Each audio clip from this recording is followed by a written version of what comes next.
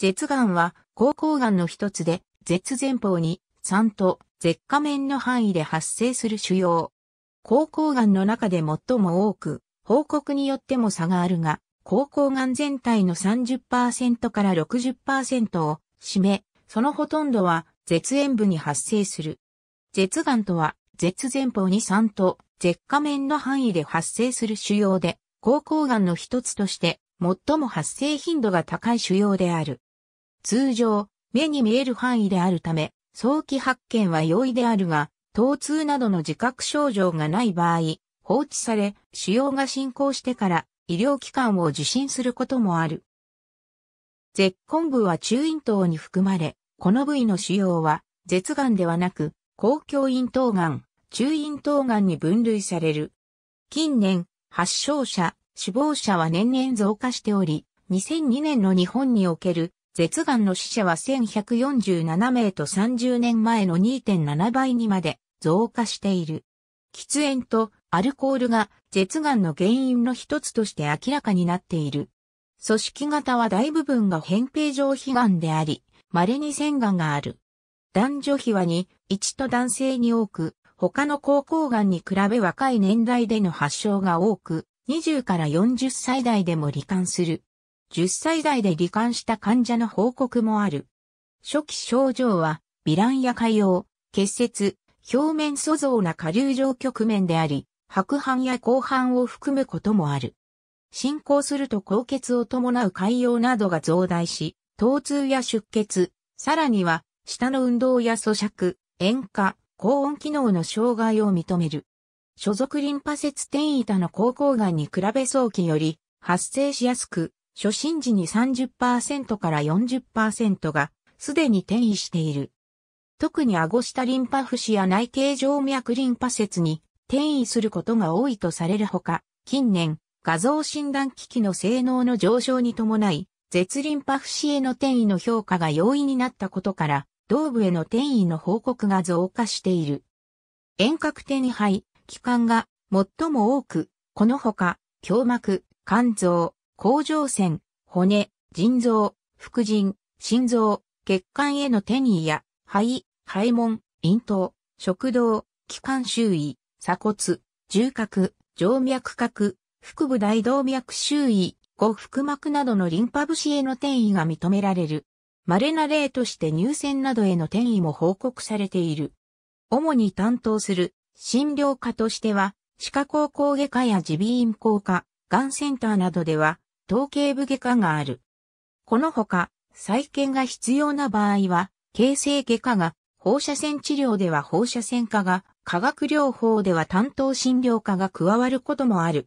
検査においては、病理診断科や臨床検査科、消化器内科も関わる。言語聴覚士や理学療法士等のリハビリテーション、部門、栄養サポートチームも関与する。主要部位の病理検査のほか、原発部位や転移部位の画像診断として CT、MRI、PT、US、胸部 X 線、ガシンチグラフィ、骨シンチグラフィが、また、腸腹がんの精査などで上部消化管内視鏡検査、消化管造影検査等が行われる。主に T に強調画像や造影で舌がんの浸潤範囲やリンパ節転移の有無の精査に用いる。特に原発の浸潤範囲に関しては T 分類を決定するのに優先される検査である。化学骨の骨髄への浸潤部の精査等、CT に比べて優れた面がある検査であるが、初期舌がん症例では主要の極材部位の指摘が難しいことも多い。超音波検査により、ケーブリンパ節転移の有無の精査や、主要の進展範囲の評価を行う。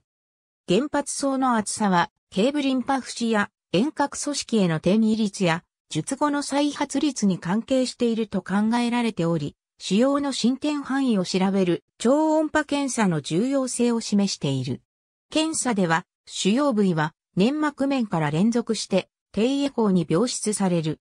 舌がん等の口腔がん、頭頸部がんの患者は、胃がん、食道がんを腸腹がんとして発症することが多いため、上部消化管内視鏡を用いて、これらのがんの有無を精査する。TNM 分類は、原発の評価を T、リンパ節転移の評価を N、遠隔転移の有無を M で評価し、さらにその評価に基づきステージ分類を行う評価法である。例えば、舌がん T2N1M0 と記載されていれば、主要原発の大きさが 2cm より大きく 4cm 以下であり、主要の同側に 3cm 以下のリンパ節転移が一つあり、遠隔転移が認められないステージ部の舌がんであることを示す。現在、ユックの TNM 悪性腫瘍の分類第6版と日本高校腫瘍学会の高校がん取扱規約による分類がある。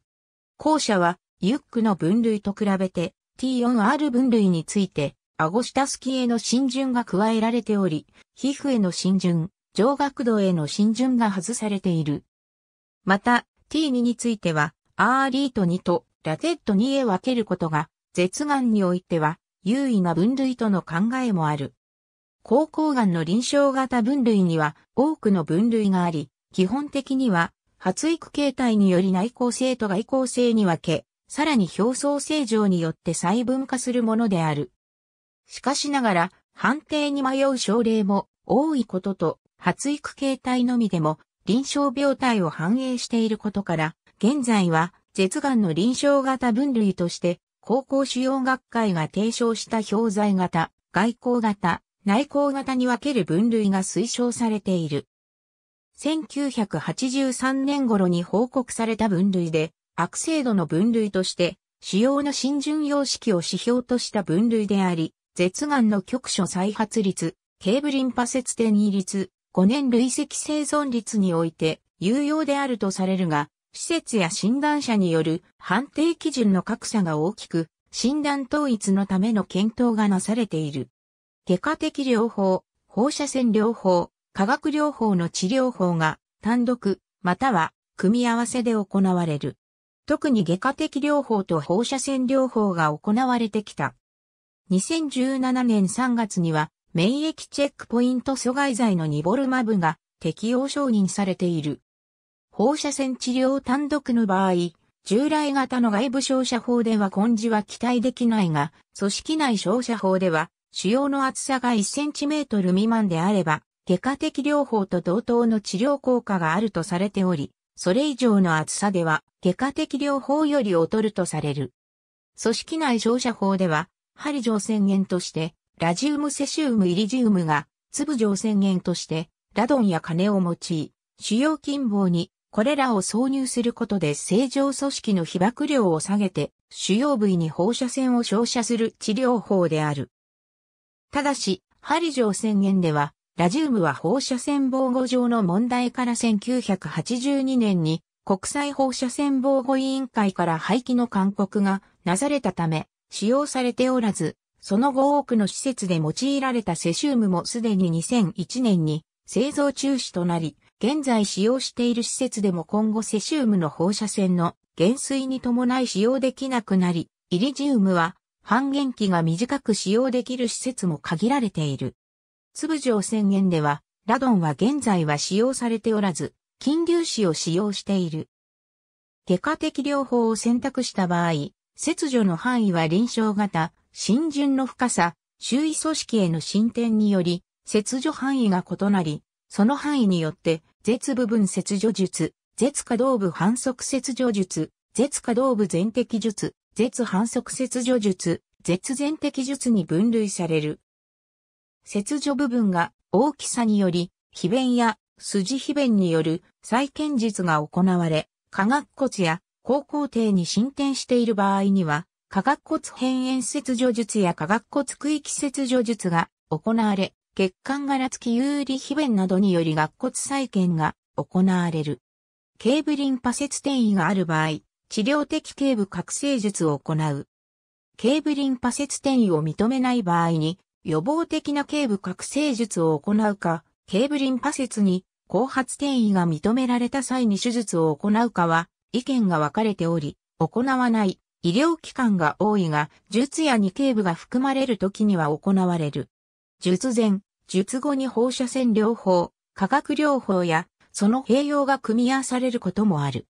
治療後は接触、塩化、発語等の機能が低下するため、医師、歯科医師、言語聴覚士、歯科衛生士、看護師らにより、リハビリテーションが行われる。これらの機能の温存や心微面の理由で形態を温存するために、化学療法と放射線療法の組み合わせで、根治治療を行い、効果がない場合に手術を行うという方法が取られてきている。この方法は、手術が可能な場合に手術を行う方法に比べて、生存率等を上昇させたというエビデンスはないが、手術回避、または縮小手術による臓器、機能温存療法として期待できる。手術が不可能な症例においては放射線、治療断毒よりも生存率等が高いために標準的治療と考えられている。再発または遠隔転移を有する舌がんに対して2017年3月、ニボルマブが適用承認された。治療後の経過観察の基準は現段階では存在しないが、5年は必須、10年が望ましいとされている。舌がんの治療で外科的療法を選択した場合、接触、塩化障害が発生する。術後の機能障害は、塩化造影検査や水飲み検査、アンケート調査票、塩化内視鏡などにより評価される。栄養サポートチームや医師、歯科医師、言語聴覚士、歯科衛生士、看護師らにより、リハビリテーションが行われる。舌の欠損などの主に高校期の塩化障害に対しては、絶接触補助床の使用も有効であるとされる。